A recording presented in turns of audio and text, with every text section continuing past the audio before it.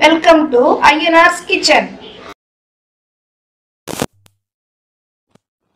இன்றைக்கி குழந்தைங்களுக்கு பிடிச்ச மாதிரி ஒரு ஹெல்த்தி ஸ்நாக்ஸ் இதை டிஃபனாக கூட நம்ம சாப்பிட்லாம். எப்படி செய்கிறதுன்னு பார்க்கலாம் வாங்க. ஒரு ஸ்பூன் எண்ணெய் விட்டுருக்கேன். உங்கள் காரத்துக்கு தக்கன தேவையான அளவு மிளகாய்த்தூள்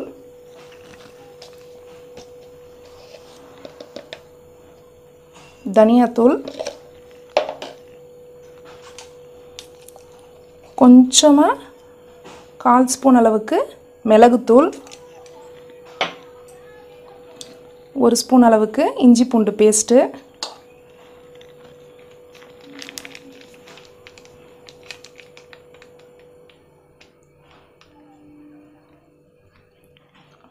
ஒரு ஸ்பூன் அளவுக்கு தயிர். தேவையான அளவுக்கு உப்பு.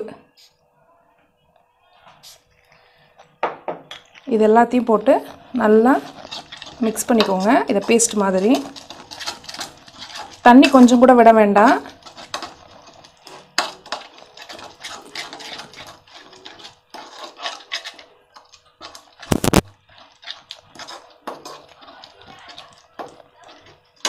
தயிர் தேவைப்படும் அப்படின்னு தோணுச்சுன்னா நீங்கள் திரும்ப ஒரு ஸ்பூன் சேர்த்துக்கலாம்.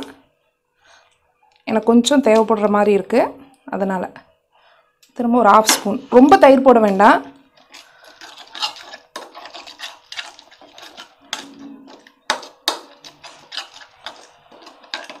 பாருங்கள் இந்தளவு கலந்தோம்னா போதும். இது போக கொஞ்சமாக சாட் மசாலா சாட் மசாலா எதுக்காகனா அதில் லைட்டான ஒரு புளிப்பு டேஸ்ட் இருக்கும். அது இந்த டிஃபனுக்கு நல்லாவே ஒரு என்ஹான்ஸ் தரும்.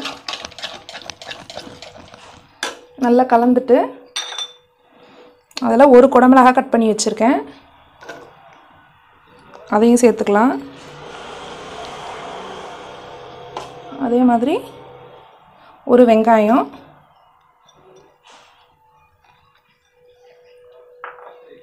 இரநூறு கிராம் அளவுக்கு பன்னீர்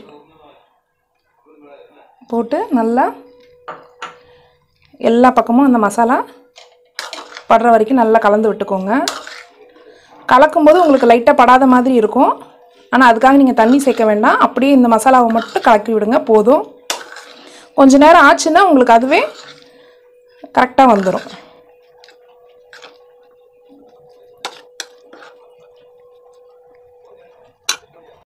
பாருங்கள் இது மாதிரி நல்லா எல்லா பீஸ்லேயும் படுற அளவுக்கு கலந்துட்டு ஆஃப் அன் ஹவர் மூடி வச்சுருங்க.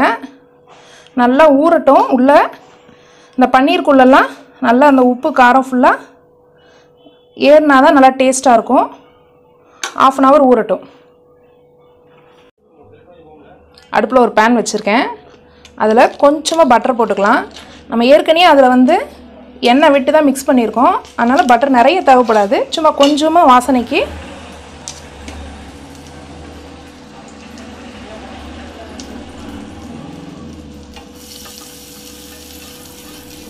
நல்லா நல்லா ஸ்ப்ரெட் பண்ணிவிட்டு நம்ம ஏற்கனவே மிக்ஸ் பண்ணி வச்சுருக்கோம் இல்லையா?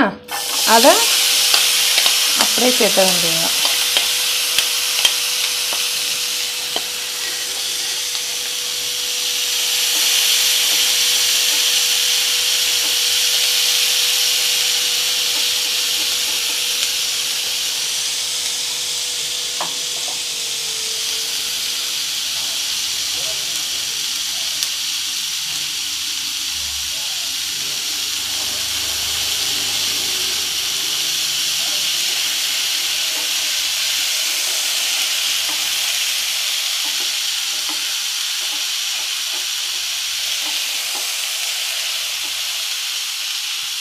இதை சமைக்கும்போது ரொம்ப சிம்மில் வச்சு சமைக்காதீங்க. நல்லா அடுப்பை ஏற்றி வச்சு சமைங்க. சிம்மில் வச்சு சமைச்சிங்க அப்படின்னா அந்த குடமிளகா வெங்காயத்தில் இருக்கிற தக்காளி தண்ணி ஃபுல்லாக வெளியே வந்துடும் உங்களுக்கு இது கிரேவி மாதிரி ஆகிடும் அதனால் ஏற்றி வச்சு லைட்டாக அந்த ஸ்மோக்கி ஸ்மெல் வர்ற அளவுக்கு இருந்தால் போதும். இந்த அளவுக்கு வெந்துச்சுன்னா போதும். ரொம்ப வேகணும்னு அவசியம் இல்லை.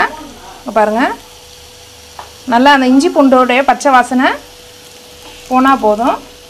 ஆஃப் பண்ணிவிட்டு கொஞ்சம் ஆற வச்சிடலாம் நல்லா ஆறிடுச்சு. பாருங்கள் சூப்பராக ரெடி ஆகிடுச்சு இப்போது நான் ஒரு ப்ரெட் ஸ்லைஸ் எடுத்திருக்கேன். இதில் கொஞ்சமாக டொமேட்டோ சாஸு இது வந்து ஹோம்மேட் டொமேட்டோ சாஸு நீங்கள் கடையில் உள்ள சாஸ் வாங்குனீங்க அப்படின்னா அதில் கொஞ்சமாக பெப்பர் சால்ட்டு சில்லி ஃப்ளேக்ஸ் மூணு மிக்ஸ் பண்ணிக்கோங்க. நான் வந்து செய்யும் போதே அதெல்லாம் போட்டு செஞ்சுருக்கேன்.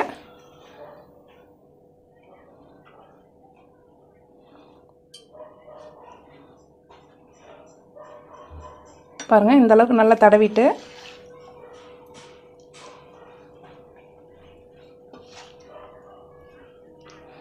நீங்கள் இது எவ்வளோ நிறைய வேணும்னாலும் வைக்கலாம். குழந்தைங்களுக்கு சாப்பிடும்போது நல்லா டேஸ்ட்டாகவும் இருக்கும். நல்லா பன்னீர் வந்து உடம்புக்கு ரொம்ப ஹெல்த்தியும் கூட. பால் பொருட்கள் எல்லாமே குழந்தைங்களுக்கு ரொம்ப நல்லது.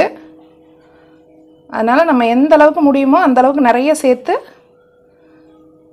கொடுக்கலாம். பாருங்கள் அதே மாதிரி உள்ள பட்டர் வச்சு க்ளோஸ் பண்ணிட்டேன். அதே மாதிரி எக்ஸ்ட்ராவாக திரும்ப மேலே கொஞ்சம் பட்டர் சேர்த்து இப்படி வச்சுட்டு இப்படி திருப்பி வச்சிங்க அப்படின்னா அது ஆட்டோமேட்டிக்காக ஹீட் ஆகி ஃபுல்லாக வந்துடும்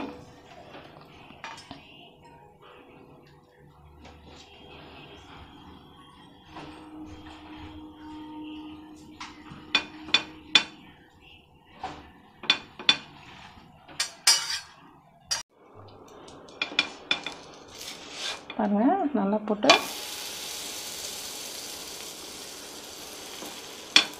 நல்லா ப்ரெஸ் பண்ணி விட்டு ரோஸ்ட் பண்ணுங்கள் அப்போ தான் நல்லா உங்களுக்கு சாண்ட்விட்சு நல்லா ஒன்று போல் உள்ள வரைக்கும் ரோஸ்ட்டாக கிறிஸ்பி ஆகும். ம். பாருங்கள் நல்லா கிறிஸ்பியாக சூப்பராக ஹெல்த்தி சாண்ட்விச் ரெடி ஆயிடுச்சு. இந்த ரெசிபி உங்களுக்கு பிடிச்சிருந்ததுன்னா லைக் பண்ணுங்கள் ஷேர் பண்ணுங்கள் கமெண்ட் பண்ணுங்கள் சப்ஸ்கிரைப் பண்ணுங்கள் பக்கத்துலேயே இருக்கிற பெல் ஐக்கானை கிளிக் பண்ணுங்கள்